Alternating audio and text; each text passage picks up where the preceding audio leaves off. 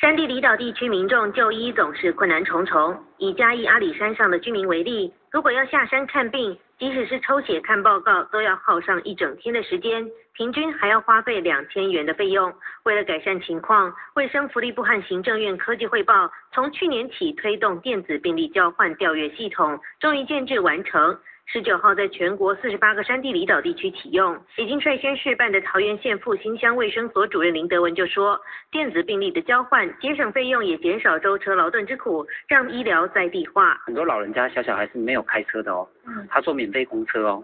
下去之后看完病就没有公车回来要过夜，而且为了这样子孙子没人顾就要请假。